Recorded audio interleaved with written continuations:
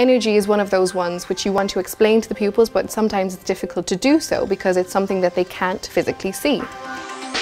Friction is one of these phenomena where teachers usually tend to neglect them.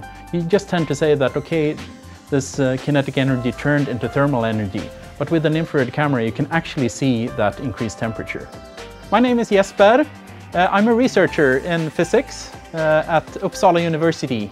Wow, it's very warm here. For the last couple of years we've been developing and testing out different uh, laboratory exercises for uh, schools with thermal cameras. You predict something before, you observe with the uh, infrared camera and then you explain what, what you've seen.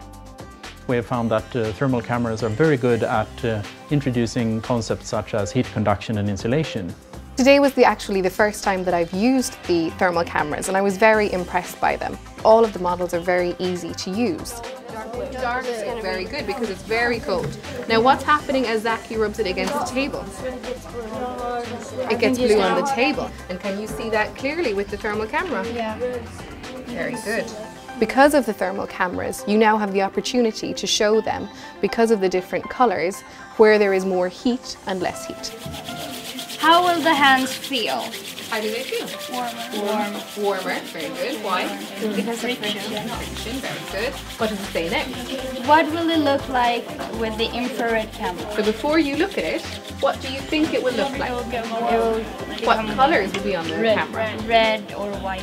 Red or white? Yeah. So to tell them what it looks like to you when you see it. Red and white. Mark. And then red again. Your face is so red. At the university level, uh, infrared cameras are very good at um, complementing traditional laboratory exercises.